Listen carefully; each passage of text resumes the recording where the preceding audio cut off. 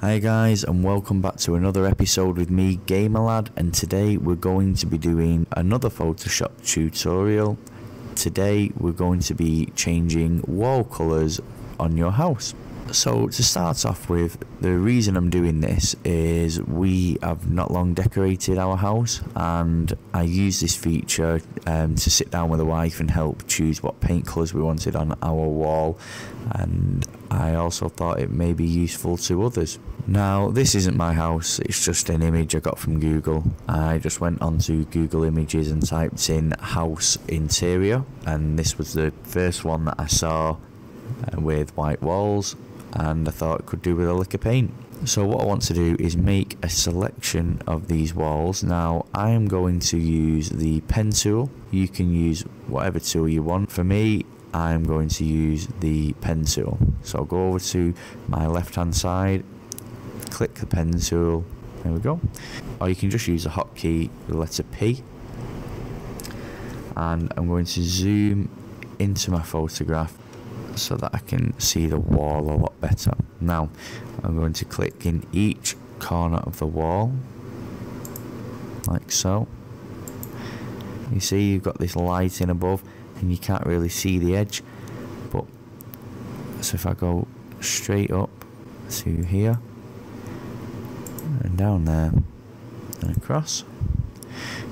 There we go we've got that selection now. So what I want to do is right click anywhere on the line and create uh, selection. So I'll click on make selection and I'm going to feather the radius by half a pixel uh, as I don't want it to carry over onto the ceiling and I don't want it to carry below onto the fireplace onto the marble fireplace.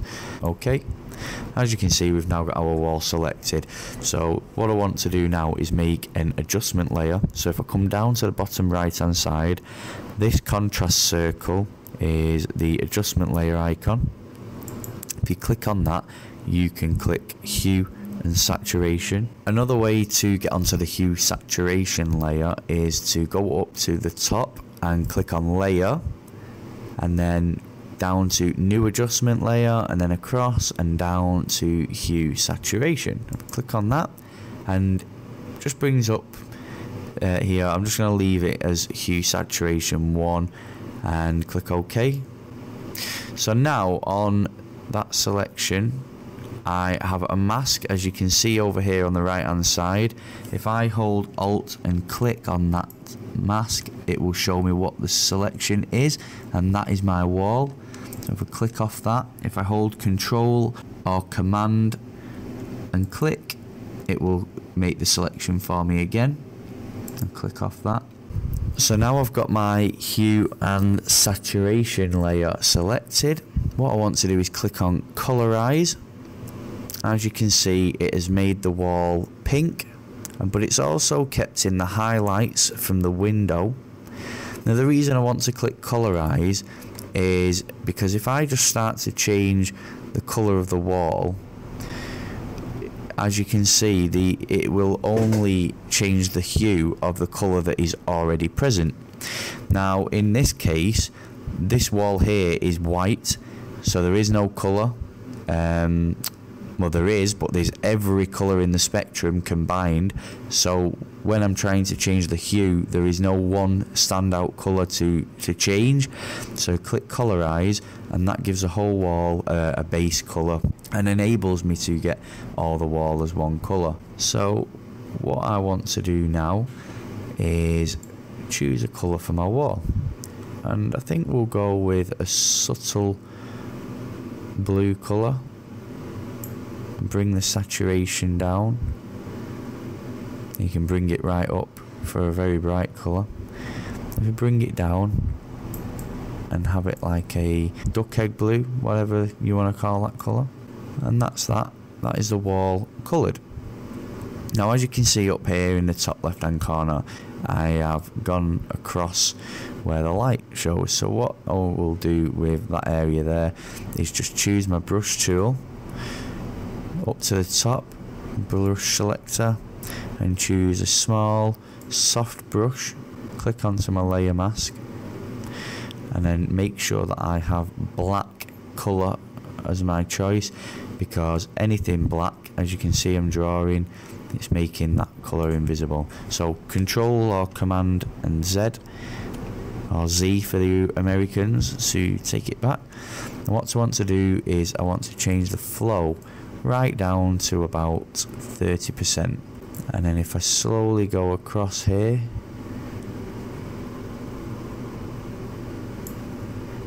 as you can see I get my light back. So there you have it. I will do another wall just to show you again. So I'm going to select my pen tool. Or click or press P and I'm going to draw around this wall here. I'm using my mouse today as my tablet I've still not replaced it but not to worry. Go around that cushion and just click on the corners of the stairs. The corner up to the top you get the circle icon which means you're about to close your loop.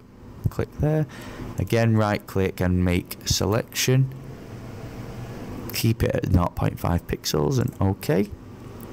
And the same again.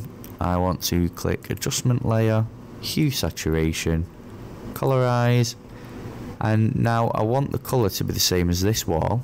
So one way of doing it, because as you can see, my eye droplets are grayed out and I can't use them. So what I can do is I can go onto the layer below and I can check the color.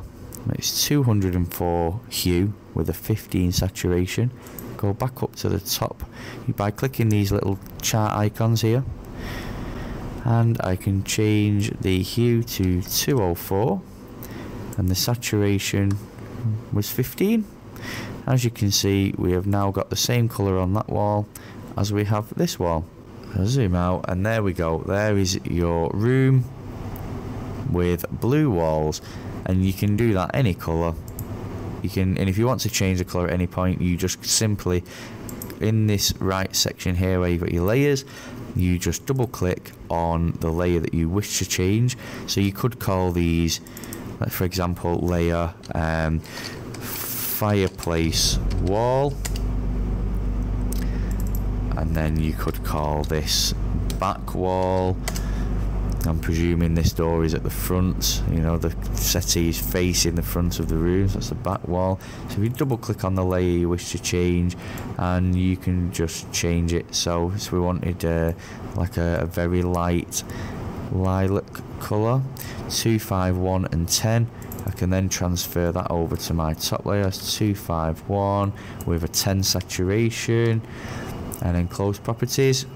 As you can see we've changed the walls to purple. And you can do that for anything. It doesn't have to be a wall. You can change most things that way and keep the highlights. As you can see we've got the glow from the floor onto the walls. We've got the glow from the window um, you can change uh, absolutely anything you can change colours of uh, furniture like I could change this settee to red I could change this buffet to now I'll go ahead and show you that actually so again, pen tool, click on the corner, corner. Now I'm just going to rush this ever so slightly because I don't want the video to go on and on. You know, I've shown you the basics of it now. This is just a quick example. So make selection, okay, adjustment layer, hue saturation, colorize and let's say we want that um, like a darker purple to complement the walls I mean you can have it really um, like a toy colour if you want like so and you can even change the, the lightness of it if it's in a darker area of the room if you're lighting it it tends to look unrealistic but if you darken it it brings out the detail in the stitching in the fabric a bit more so there we have it. I could do the same with the settee, so I have lilac walls and violet furniture. So I hope you've enjoyed the video. I hope it's been of use for you and just thank you for taking the time out of your day to watch my video. If you've got any requests on Photoshop tutorials, just please leave a message down in the comment section below. Don't forget to like if you've liked this video and if you'd like to see more Photoshop tutorials or gaming videos, please subscribe. Thank you. Bye.